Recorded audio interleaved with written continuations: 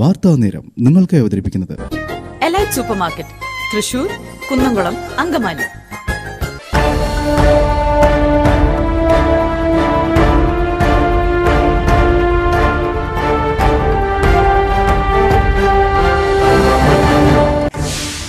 തൃശൂരിന് അഭിമാന നിമിഷം സീറോ മലബാർ സഭയുടെ പുതിയ അധ്യക്ഷനായി മാ റാഫേൽ തട്ടിലിനെ തിരഞ്ഞെടുത്തു. നിലവിൽ ശംഷാബാദ് രൂപത ബിഷപ്പാണ് തട്ടിൽ.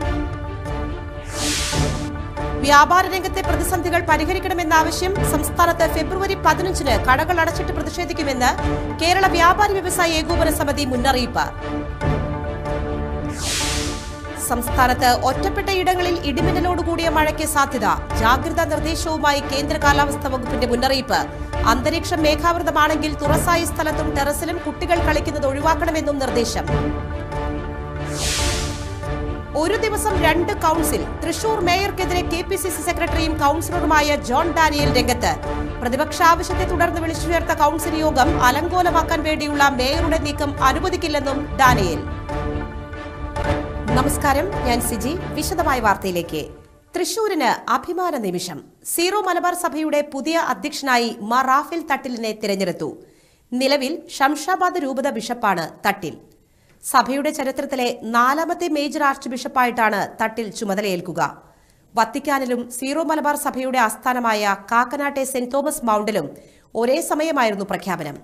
ചൊവ്വാഴ്ച സെന്റ് തോമസ് മൗണ്ടിൽ നടന്ന സിനഡ് യോഗത്തിൽ രഹസ്യ ബാലറ്റിലൂടെയാണ് മേജർ ആർച്ച് ബിഷപ്പ് സ്ഥാനത്തേക്ക് മാർ റാഫേൽ തട്ടിലിനെ തിരഞ്ഞെടുത്തത്.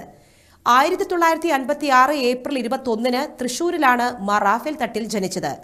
തൃശൂർ സെന്റ് മേരീസ് മൈനർ സെമിനാരിയിലും വടവാതൂർ സെന്റ് തോമസ് അപ്പസ്തോളിക് സെമിനാരിയിലുമായി വൈദിക പരിശീലനം പൂർത്തിയാക്കിയ മാർ റാഫേൽ തട്ടിൽ തൃശൂർ രൂപതയ്ക്ക് വേണ്ടി ആയിരത്തി തൊള്ളായിരത്തി എൺപത് ഡിസംബർ ഇരുപത്തൊന്നിന് പൗരോഹിത്യം സ്വീകരിച്ചു. അരണാട്ടുക്കര പള്ളിയിൽ അസിസ്റ്റന്റ് വികാരിയായും തൃശൂർ മൈനർ സെമിനാരിയിൽ father prefect vice rector procurator എന്നീ നിലകളിലും കൂനമൂച്ചി ചേരുംകുഴി പള്ളികളിൽ ആക്ടിംഗ് വികാരിയായും സേവനം ചെയ്തു. റോമിലെ പൊന്തിഫിക്കൽ ഓറിയന്റൽ ഇൻസ്റ്റിറ്റ്യൂട്ടിൽ നിന്ന് കാനൻ നിയമത്തിൽ ഡോക്ടറേറ്റ് നേടിയ ശേഷം രൂപത വൈസ് ചാൻസലർ ചാൻസലർ സിൻചെലൂസ് എന്നീ പദവികൾ വഹിച്ചു. രൂപത കച്ചേരിയിൽ നോട്ടറിയും ജഡ്ജിയും അസിസ്റ്റന്റ് വികാരിയുമായിരുന്നു. രണ്ടായിരത്തി പത്തിൽ തൃശൂർ അതിരൂപത സഹായ വെത്രാനായി നിയമിക്കപ്പെട്ടു. രണ്ടായിരത്തി പതിനാല് മുതൽ ഇന്ത്യയിൽ സീറോ മലബാർ സഭയുടെ അധികാര പരിധിക്ക് പുറത്ത് നൂറോളം മിഷൻ കേന്ദ്രങ്ങളിലായി താമസിക്കുന്ന രണ്ട് ലക്ഷത്തോളം പ്രവാസികളുടെ ചുമതലയുള്ള അപ്പസ്തോലിക് വിസിറ്റേറ്ററായി സേവനം ചെയ്തു. രണ്ടായിരത്തി പതിനെട്ടിലാണ് ഇരുപത്തിമൂന്ന് സംസ്ഥാനങ്ങളും രണ്ട് കേന്ദ്രഭരണ പ്രദേശങ്ങളും രണ്ട് ദ്വീപുകളും അടങ്ങുന്ന ഷംഷാബാദ് രൂപതയുടെ മെത്രാനാകുന്നത്. ഷംഷാബാദ് രൂപതയുടെ ആദ്യ ബിഷപ്പാണ് മാർത്തട്ടിൽ. വ്യാപാര രംഗത്തെ പ്രതിസന്ധികൾ പരിഹരിക്കണമെന്നാവശ്യപ്പെട്ട് വ്യാപാരി വ്യവസായി ഏകോപന സമിതി പ്രക്ഷോഭ രംഗത്തേക്ക്. ഫെബ്രുവരി പതിനഞ്ചിന് സംസ്ഥാനത്ത് കടകൾ അടച്ചിട്ട് പ്രതിഷേധിക്കാനും തീരുമാനം. പ്രക്ഷോഭ പരിപാടികൾക്ക് തുടക്കം കുറിച്ചുകൊണ്ട് ജനുവരി ഇരുപത്തൊൻപതിന് കാസർഗോഡ് നിന്നും തിരുവനന്തപുരത്തേക്ക് വ്യാപാര സംരക്ഷണ ജാഥ സംഘടിപ്പിക്കുമെന്ന് സംസ്ഥാന പ്രസിഡന്റ് രാജു അപ്സര തൃശൂരിൽ വാർത്താസമ്മേളനത്തിൽ അറിയിച്ചു. പതിനഞ്ചിന് ആവശ്യങ്ങൾ ഉന്നയിച്ചാണ് പ്രതിഷേധം. കേന്ദ്ര സംസ്ഥാന സർക്കാരുകളുടെ വ്യാപാര നയങ്ങൾ ചെറുകിട വ്യാപാരികളെ ആത്മഹത്യയിലേക്ക് നയിക്കുകയാണ്. കോർപ്പറേറ്റുകൾക്ക് മാത്രം അനുകൂലമാകുന്ന നിയമനിർമ്മാണങ്ങൾ മൂലം ചെറുകിട വ്യാപാരികൾ കഷ്ടത്തിലാണെന്ന് ഭാരവാഹികൾ പറഞ്ഞു. പിഴ ഈടാക്കൽ മൂലം വ്യാപാരികൾ വലയുകയാണ്. മാലിന്യ സംസ്കരണത്തിന്റെ പേരിൽ വ്യാപാരികളെ വേട്ടയാടുന്നത് നിർത്തണമെന്നും നേതാക്കൾ ആവശ്യപ്പെട്ടു. തെരുവോര കച്ചവടത്തിന് പ്രത്യേക സോൺ വേണം. ജി എസ് ടി രജിസ്ട്രേഷൻ പരിധി രണ്ടു കോടിയായും എഫ് എസ് എസ് എ പരിധി ഒരു കോടിയുമാക്കണമെന്നും ആവശ്യപ്പെട്ടു. ജാഥ ഫെബ്രുവരി പതിനഞ്ചിന് തിരുവനന്തപുരത്ത് സമാപിക്കും. അഞ്ചു ലക്ഷം പേർ ഒപ്പിട്ട നിവേദനം മുഖ്യമന്ത്രിക്ക് നൽകും. വാർത്താ സമ്മേളനത്തിൽ സംസ്ഥാന president Raju Apsara working president Kunjavu Haji general secretary Devasya Mecheri vice പ്രസിഡന്റുമാരായ അബ്ദുൾ ഹമീദ് അഹമ്മദ് ഷരീഫ് സെക്രട്ടറിമാരായ ബാബു കോട്ടായിൽ സണ്ണി പൈൻപിള്ളിൽ സെക്രട്ടേറിയറ്റ് അംഗം എ ജെ റിയാസ് എന്നിവർ പങ്കെടുത്തു.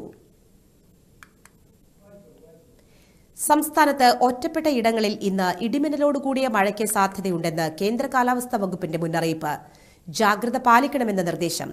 ഇടിമിന്നലിന്റെ ആദ്യ ലക്ഷണം കണ്ടുകഴിഞ്ഞാൽ ഉടൻ തന്നെ സുരക്ഷിതമായ കെട്ടിടത്തിനുള്ളിലേക്ക് മാറണമെന്നും നിർദ്ദേശം. തുറസായ സ്ഥലങ്ങളിൽ തുടരുന്നത് ഇടിമിന്നൽ ഏൽക്കാനുള്ള സാധ്യത വർദ്ധിപ്പിക്കും. ശക്തമായ കാറ്റിനും ഇടിമിന്നലിനും സാധ്യതയുള്ള ഘട്ടത്തിൽ ജനലും വാതിലും അടച്ചിടുക. വാതിലിനും ജനലിനും അടുത്ത് നിൽക്കാതെ ഇരിക്കുക. കെട്ടിടത്തിനകത്ത് തന്നെ ഇരിക്കുകയും പരമാവധി ഭിത്തിയിലോ തറയിലോ സ്പർശിക്കാതിരിക്കാൻ ശ്രമിക്കുകയും ചെയ്യുക. ഗൃഹോപകരണങ്ങളുടെ വൈദ്യുതി ബന്ധം വിച്ഛേദിക്കുക. വൈദ്യുതോപകരണങ്ങളുമായുള്ള സാമീപ്യം ഇടിമിന്നലുള്ള സമയത്ത് ഒഴിവാക്കുക. ഇടിമിന്നലുള്ള സമയത്ത് ടെലിഫോൺ ഉപയോഗിക്കുന്നത് ഒഴിവാക്കണം. മൊബൈൽ ഫോൺ ഉപയോഗിക്കുന്നതുകൊണ്ട് കുഴപ്പമില്ലെന്നും നിർദ്ദേശത്തിൽ പറയുന്നു. അന്തരീക്ഷം മേഘാവൃതമാണെങ്കിൽ തുറസായ സ്ഥലത്തും ടെറസിലും കുട്ടികൾ ഉൾപ്പെടെ കളിക്കുന്നത് ഒഴിവാക്കണമെന്നും കാലാവസ്ഥാ കേന്ദ്രം അറിയിച്ചു.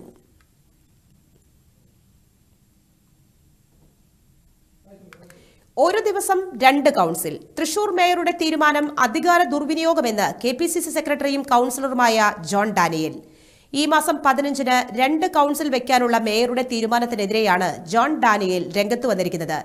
കഴിഞ്ഞ മാസം ഇരുപതിന് വിളിച്ചുകൂട്ടിയ കൌൺസിൽ യോഗത്തിൽ അജണ്ടകൾ ചർച്ച ചെയ്യാതെ പാസാക്കിയെന്ന് മേയർ പറഞ്ഞിരുന്നു.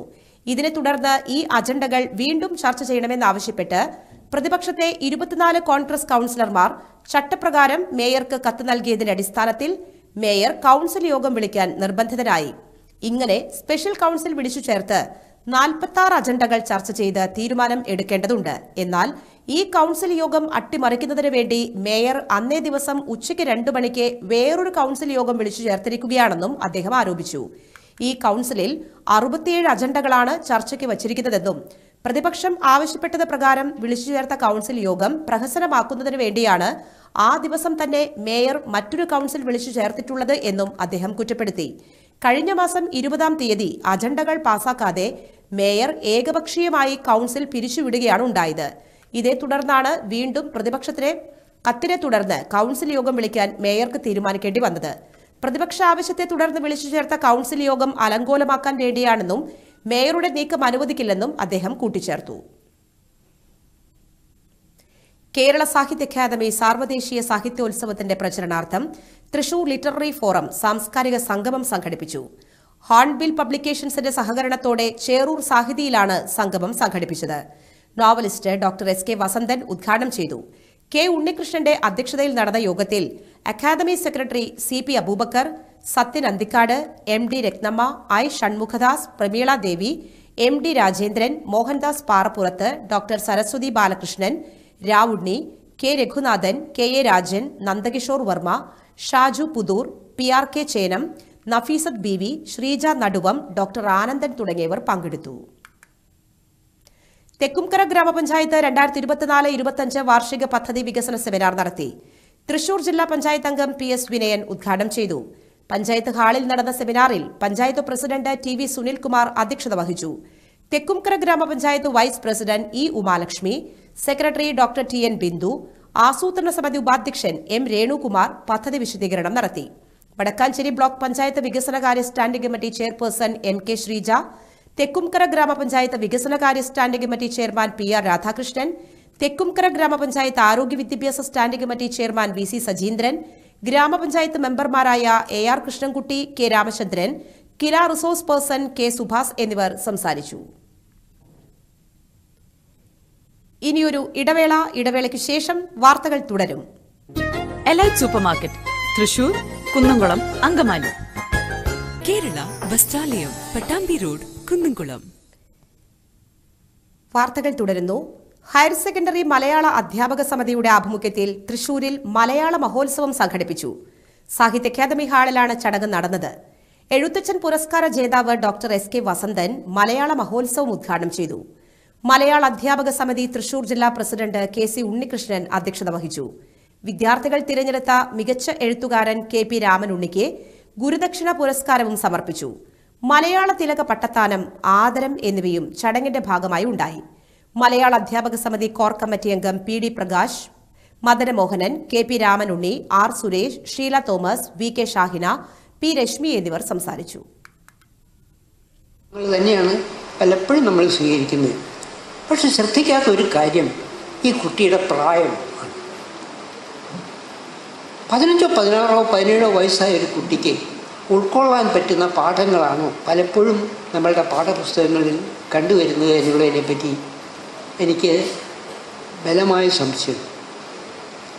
ഒമ്പതാം ക്ലാസ്സിൽ പഠിക്കുന്ന ഒരു കുട്ടിക്ക് നഗരത്തിലെ ഒരു യക്ഷൻ എന്നുള്ള ആറ്റൂരിന്റെ കവിത എത്രത്തോളം ഉൾക്കൊള്ളാൻ പറ്റും? ഒരുപക്ഷെ അത് ഈ ടെക്സ്റ്റ് ബുക്കിൽ ഉൾപ്പെടുത്തിയ ആ കമ്മിറ്റിയിൽപ്പെട്ട അധ്യാപകന്മാർ ആ കവിതയുടെ മഹത്വത്തെ പറ്റി മനസ്സിലാക്കിയിട്ടുണ്ടാകും ഇല്ല എന്നെനിക്ക് അഭിപ്രായമില്ല. പക്ഷേ ഒരു പതിനാല് വയസ്സുകാരനോ പതിനഞ്ച് വയസ്സുകാരനോ ഉൾക്കൊള്ളാവുന്നതാണോ ആ കവിതയുടെ പ്രമേയം? കക്കാടിന്റെ സഫലമീ യാത്ര. ഇത് ഒരു പതിനഞ്ച് വയസ്സുകാരനെ എത്രത്തോളം ഉൾക്കൊള്ളാൻ പറ്റും? സി എം ജോർജ് അനുസ്മരണ ദിനം ചേംബർ ഓഫ് കൊമേഴ്സിൽ പുഷ്പാർച്ചന നടത്തി. ചേംബർ ഓഫ് കൊമേഴ്സിന്റെയും വ്യാപാരി വ്യവസായി ഏകോപന സമിതിയുടെയും സ്ഥാപക നേതാക്കളിൽ ഒരാളായ സി എം ജോർജിന്റെ മുപ്പതാം അനുസ്മരണ ദിനത്തോടനുബന്ധിച്ച് പുഷ്പാർച്ചന നടത്തി. ചേംബർ ഓഫ് കൊമേഴ്സിന്റെ നേതൃത്വത്തിലായിരുന്നു ചടങ്ങ്. Chamber president Sajeev Manjila secretary G G George vice president M R Francis chamber of commerce വനിതാ wing youth wing friends of chamber ഭാരവാഹികൾ മറ്റ് ചേംബർ ഓഫ് കൊമേഴ്സ് മെമ്പർമാർ എന്നിവർ പങ്കെടുത്തു. വയോജനങ്ങൾക്ക് കരുതലായി അരിമ്പൂരിൽ ആയിരം സന്നദ്ധ പ്രവർത്തകർ സജ്ജമാകുന്നു. വയോജന സേവനങ്ങൾക്കായി ഗ്രാമപഞ്ചായത്തിൽ തയ്യാറായ വളണ്ടിയർമാർക്കുള്ള ദ്വിദിന പരിശീലന പരിപാടിയുടെ ഉദ്ഘാടനം Murali Perunnelli M L A നിർവഹിച്ചു. വയോജനങ്ങൾ നേരിടുന്ന മനോവിഷമങ്ങളും ആരോഗ്യ പ്രശ്നങ്ങളും വ്യക്തിഗത പരിപാലന മാതൃകയിലൂടെ പരിഹരിക്കാൻ സേവനമൊരുക്കുകയാണ് അരിമ്പൂർ ഗ്രാമപഞ്ചായത്ത്. ആയിരം സന്നദ്ധ പ്രവർത്തകരെയാണ് സജ്ജമാക്കുന്നത്.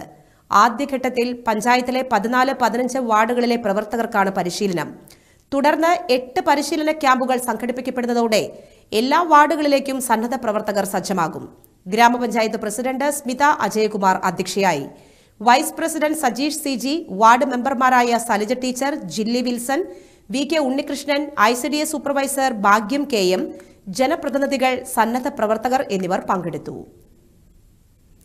തൃശൂർ മാനേജ്മെന്റ് അസോസിയേഷന്റെ ലീഡർഷിപ്പ് സമ്മിറ്റ് തൃശൂരിൽ നടക്കും. ഹയാത്ത് റീജൻസിയിലാണ് സമ്മിറ്റ് നടക്കുക. ജനുവരി പതിമൂന്നിന് വൈകിട്ട് നാലിന് സൗത്ത് ഇന്ത്യൻ ബാങ്ക് മാനേജിംഗ് ഡയറക്ടറും സിഇഒയുമായ പി ആർ ശേഷാദ്രി ചടങ്ങ് ഉദ്ഘാടനം ചെയ്യും.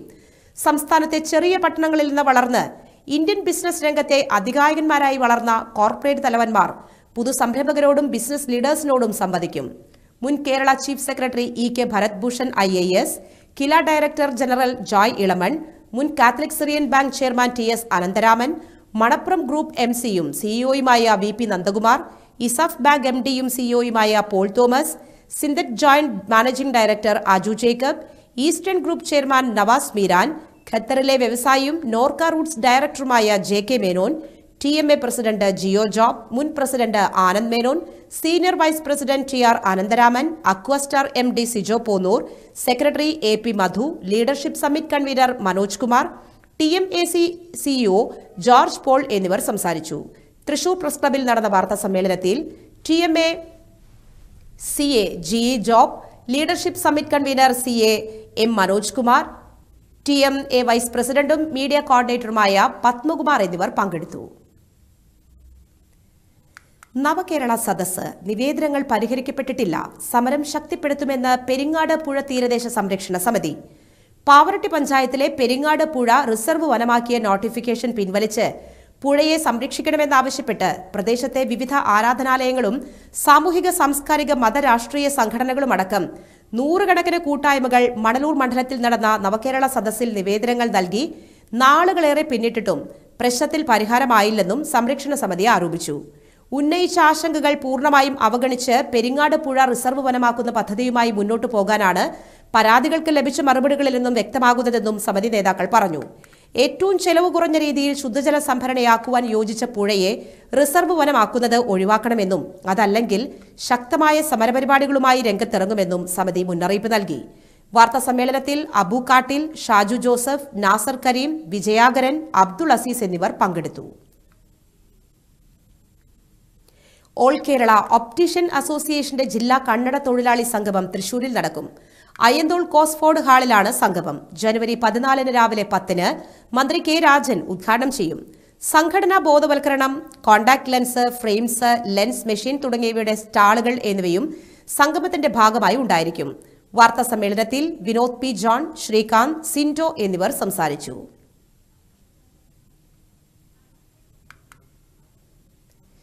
ജോയ് ചിറമേൽ രചിച്ച അറനാട് അരനാട് ഒരു നാട് എന്ന പുസ്തകം തൃശൂരിൽ പ്രകാശനം ചെയ്യും.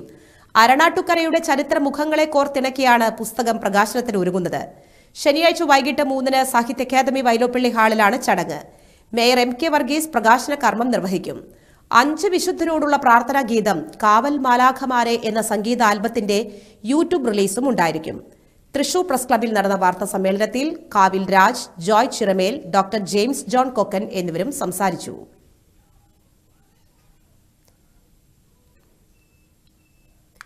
G four U news channel ലോകത്തെവിടെയിരുന്നും തത്സമയം ആസ്വദിക്കാൻ ജി ഫോർ യു ന്യൂസിന്റെ ആപ്പ് പ്ലേ സ്റ്റോറിൽ നിന്നും ഡൗൺലോഡ് ചെയ്യാവുന്നതാണ്.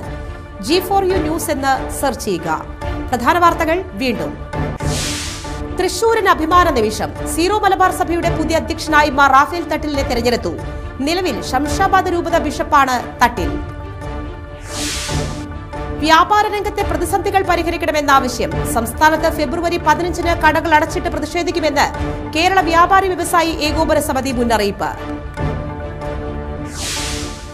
സംസ്ഥാനത്ത് ഒറ്റപ്പെട്ട ഇടങ്ങളിൽ ഇടിമിന്നലോട് കൂടിയ മഴയ്ക്ക് സാധ്യത ജാഗ്രതാ നിർദ്ദേശവുമായി കേന്ദ്ര കാലാവസ്ഥാ വകുപ്പിന്റെ മുന്നറിയിപ്പ്. അന്തരീക്ഷം മേഘാവൃതമാണെങ്കിൽ തുറസായ സ്ഥലത്തും ടെറസിലും കുട്ടികൾ കളിക്കുന്നത് ഒഴിവാക്കണമെന്ന നിർദ്ദേശം. ഒരു ദിവസം രണ്ട് കൗൺസിൽ തൃശൂർ മേയർക്കെതിരെ കെ പി സി സി സെക്രട്ടറിയും കൗൺസിലറുമായ ജോൺ ഡാനിയൽ രംഗത്ത്. പ്രതിപക്ഷ ആവശ്യത്തെ തുടർന്ന് വിളിച്ചു ചേർത്ത കൌൺസിൽ യോഗം അലങ്കാലം അലങ്കോലമാക്കാൻ വേണ്ടിയുള്ള മേയറുടെ നീക്കം അനുവദിക്കില്ലെന്ന് ഡാനിയേൽ.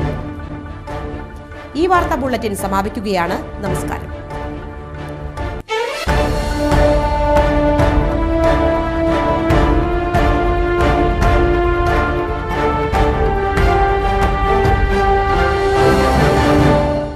വാർത്താ നേരം നിങ്ങൾക്ക് അവതരിപ്പിച്ചത് Elite supermarket Thrissur Kunnamkulam Angamaly.